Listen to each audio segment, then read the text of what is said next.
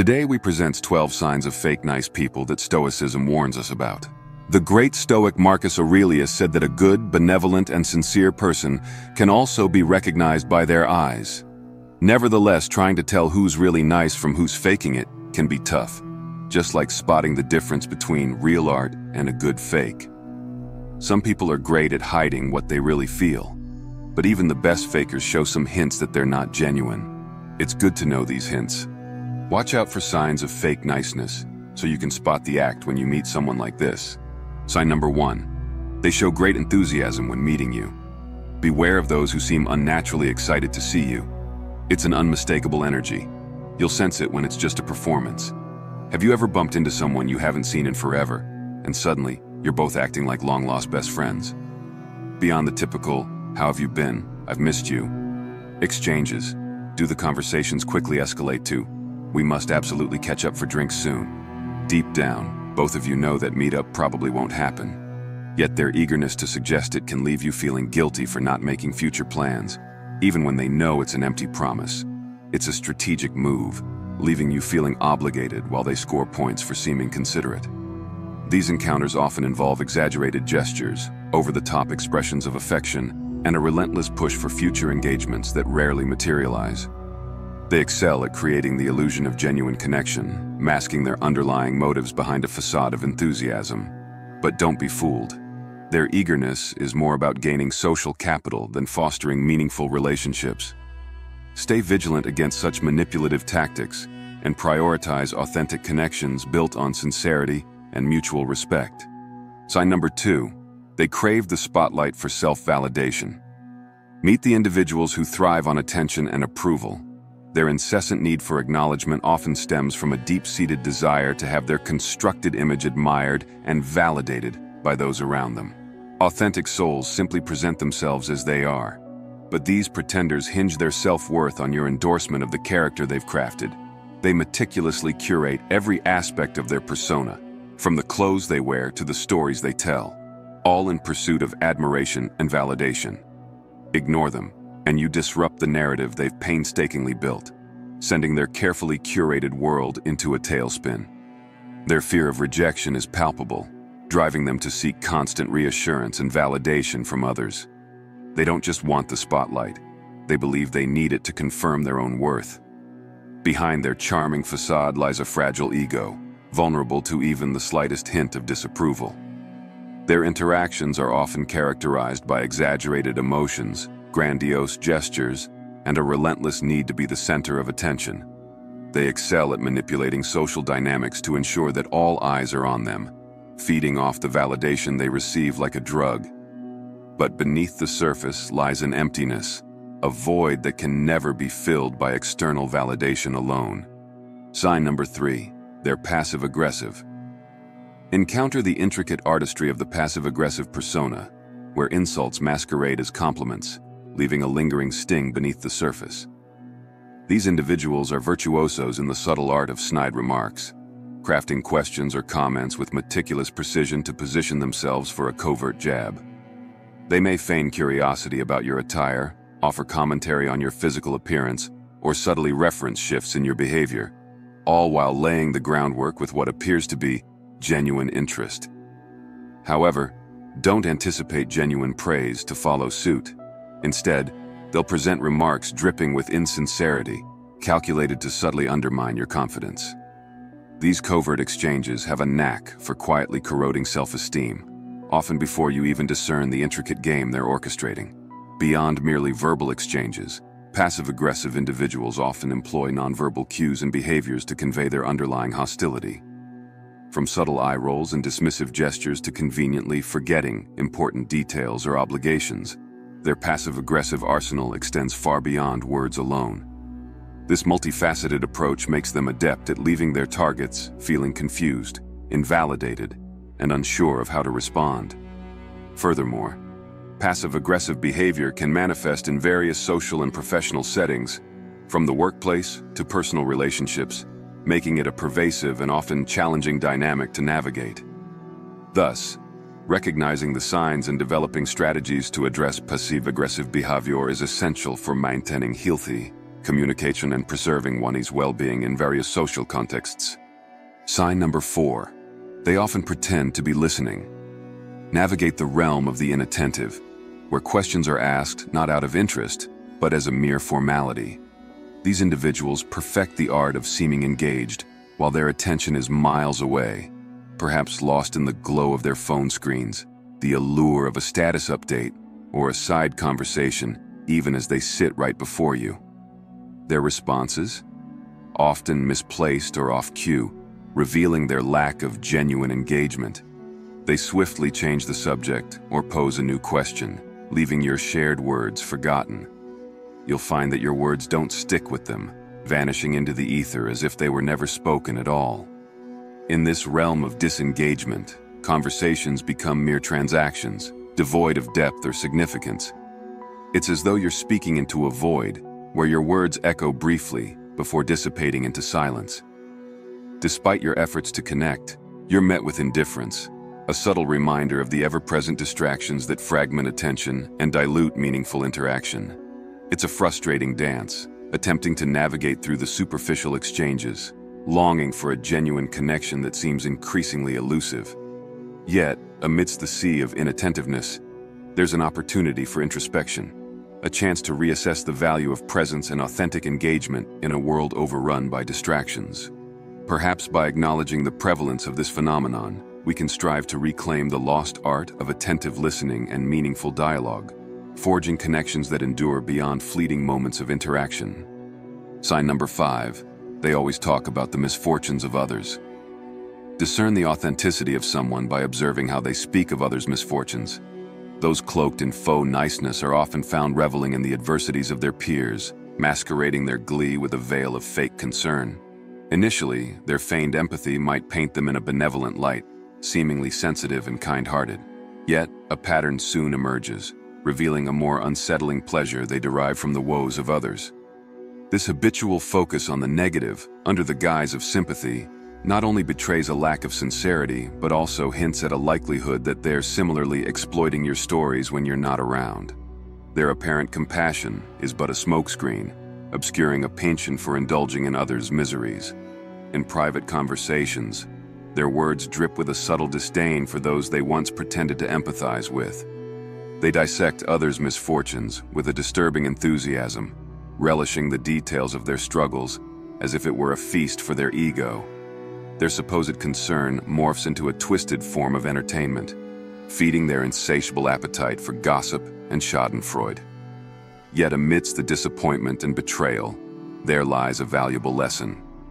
Through the deceit of these false allies, one learns to discern the authenticity of others not by their words alone, but by the sincerity of their actions and the empathy that permeates their character.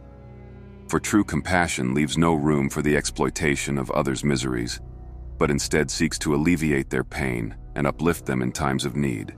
Sign number six, they like to show off. True kindness doesn't call for fanfare or broadcast its presence. It exists quietly, self-assured without seeking external validation. However, the counterfeit kind parades its benevolence, craving the spotlight. This performative altruism isn't about helping others, but about crafting an image. Watch as they ostentatiously support charitable causes or undertake grand gestures, not for the joy of giving, but for the accolades that follow. They might present you with a lavish birthday cake, overlooking your tastes or dietary restrictions, all to bask in the admiration for their effort rather than to genuinely please you. Their acts of kindness are strategically displayed, designed to enhance their own image rather than to truly benefit others. In their world, generosity is not about the act itself, but about the applause that comes with it. They meticulously curate their social media feeds with photos of their volunteer work, charity events, and random acts of kindness, all carefully chosen for maximum impact. Each post is accompanied by a string of hashtags and self-congratulatory captions, turning genuine gestures into calculated moves on the grand stage of online approval.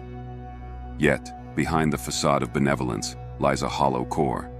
Their relationships are transactional, built on the expectation of reciprocity rather than genuine connection. They shower friends and acquaintances with gifts and favors, not out of love or compassion, but as investments in their own image. They keep mental tallies of every good deed, ready to cash in their chips at the first sign of disagreement or conflict. Sign number seven, they often exaggerate and lie. Encounter the realm where tales are spun with flair and fiction blends with reality. The hallmark of inauthenticity is the repetition of self-aggrandizing stories, so frequently retold that their fabricator loses track of the iterations. Over time, the narrative frays, revealing inconsistencies and outright fabrications, each rendition more embellished than the last.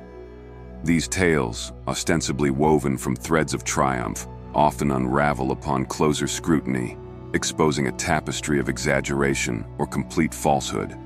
The pursuit of validation turns into a spectacle of deception, where the line between fact and fabrication blurs in their quest for admiration.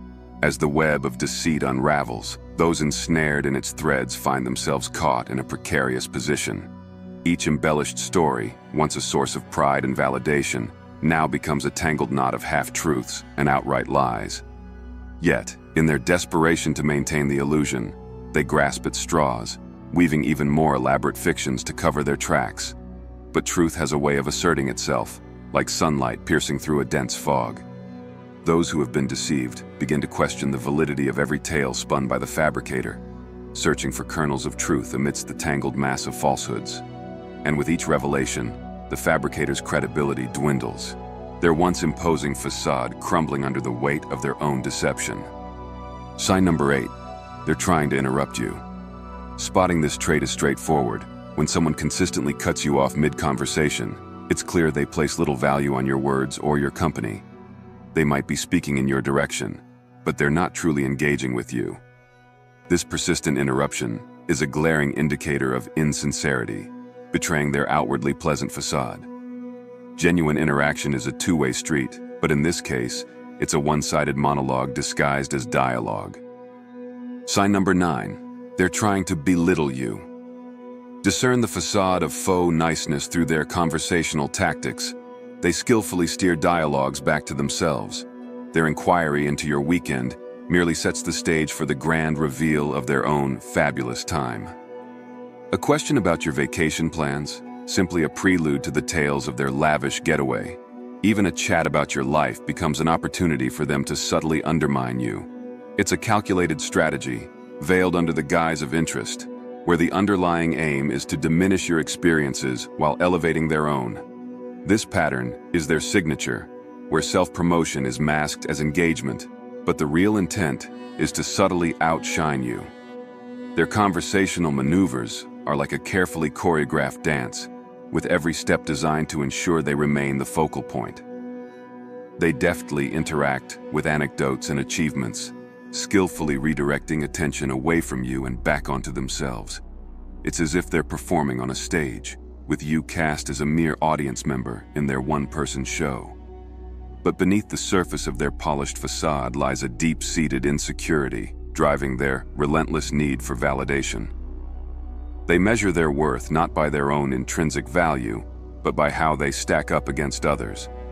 And so, every conversation becomes a battleground, a chance to assert their superiority and affirm their place in the spotlight. Sign number 10, they pretend to try to please everyone. Immerse yourself in the world of those who perform the impossible act of pleasing everyone. These individuals are entangled in a perpetual performance, attempting to juggle commitments beyond their grasp. Their mantra is yes, not from a place of genuine ability or desire, but driven by a fear of rejection and an inflated sense of capability.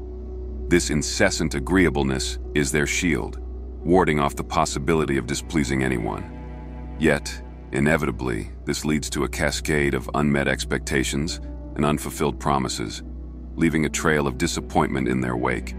Their attempt to be all things to all people is a precarious balancing act that ultimately leaves everyone, including themselves, out in the cold. Sign number 11. They respect power. Step into the realm where respect is not a universal gift, but a strategic investment. The authentic individual extends kindness universally, recognizing the intrinsic value in each person. In contrast, the opportunist's civility is selectively dispensed, tailored to the currency of influence and advantage. Their warmth and respect are contingent on your status, your utility in their ascent up the career ladder, or your gatekeeping role in exclusive social circles. This conditional nicety is a tactical play, a means to an end, where your worth in their eyes is directly linked to the doors you can open for them. Once their objectives are achieved, their feigned affections and respect often dissipate, revealing a transactional nature devoid of genuine connection. They don't treasure you for who you are, but for the benefits you bestow. Their respect is but a fragile veneer, easily cracked under the weight of their opportunistic ambitions. Like a chameleon changing colors to blend into its surroundings, they adapt their behavior to suit the situation, shifting loyalties as swiftly as the wind changes direction. And though the opportunists may rise to fleeting heights of success, their journey is ultimately a lonely one, devoid of true companionship or meaningful connection. For in their relentless pursuit of power, they sacrifice the very thing that gives life its richness and depth authentic human connection. Sign number 12 they're too busy to help.